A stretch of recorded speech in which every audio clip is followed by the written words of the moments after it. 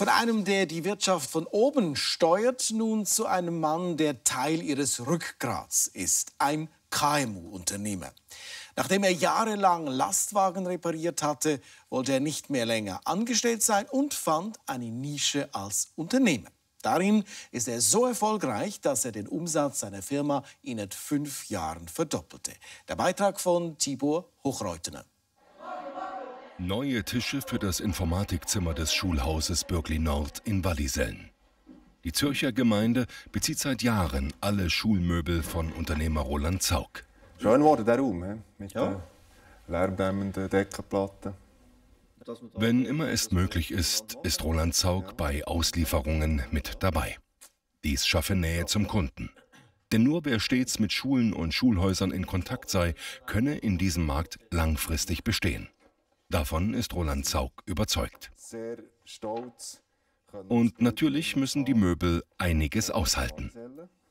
Eines der wichtigsten Kriterien ist die Langlebigkeit.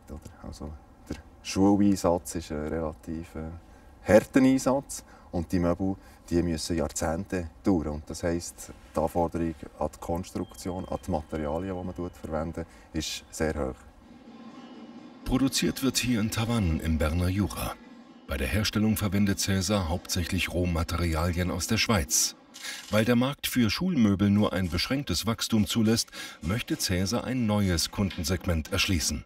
In den letzten fünf Jahren haben wir das Know-how, das wir aus dem Bildungsbereich hatten, mit hochverstellbaren Elementen, mit einstellbaren Elementen, Arbeitsplatzanalysen und so haben wir das Know-how nachher in der Industrie einsetzen und dort gezielt ergonomische Arbeitsplätze entwickeln.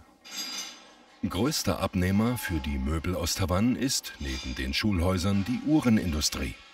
Die 20 belieferten Uhrenhersteller machen bereits ein Drittel des Umsatzes von Cäsar aus.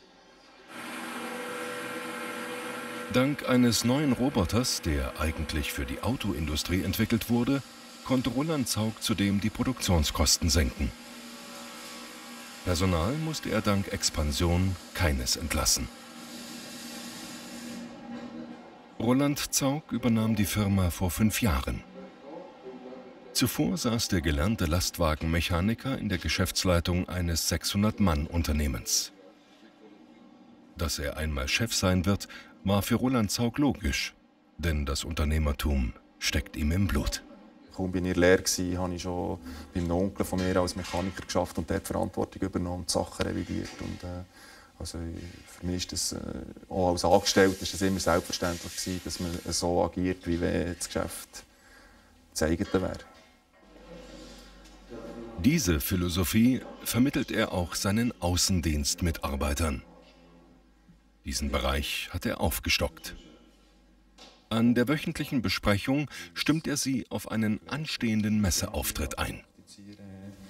Aufmerksam sein, auf die Leute zugehen. Das bisher Erreichte ist Roland Zaug nicht genug. Die 30-Mann-Firma soll weiter wachsen. Den Bereich Industriemobiliar den wird man noch weiterentwickeln.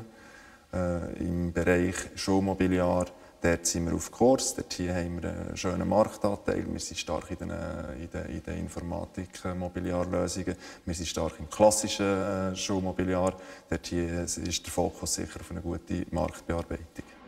In den letzten fünf Jahren hat sich der Umsatz auf 6 Millionen Franken verdoppelt. Die Produktion wird gerade um die Hälfte vergrößert.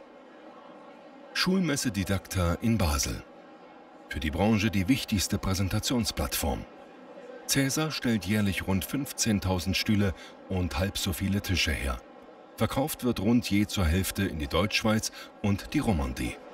Oder, und was hier beim Stapel ist, wir haben völlig vertikale Stapel. Wenn er expandiert, konzentriert sich Roland Zaug auf stark wachsende und lukrative Nischen. Dazu gehört etwa der Markt für Kinderkrippenmöbel. Zielgruppe von selbst hergestellten Möbeln sind auch Hochschulen, besonders im Informatikbereich. Ein Tisch in diesem Segment kostet bis zu 4000 Franken. Für die Zukunft ist Roland Zaug optimistisch.